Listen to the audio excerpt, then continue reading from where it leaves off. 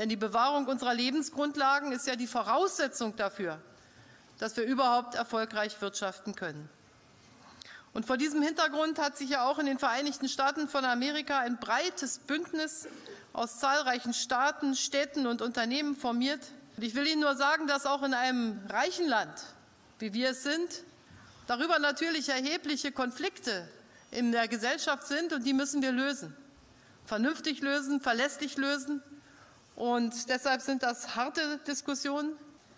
Und deshalb muss von dieser Konferenz die Ernsthaftigkeit als Signal ausgehen, dass wir Paris als Anfang gesehen, aber dass wir wissen, dass die Arbeit damit erst richtig losgegangen ist.